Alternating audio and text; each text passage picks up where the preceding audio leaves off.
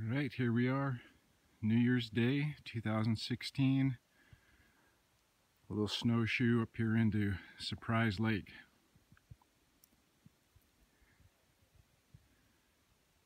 Beautiful day. Real nice. Hopefully get home in time to watch the Rose Bowl. Happy New Year.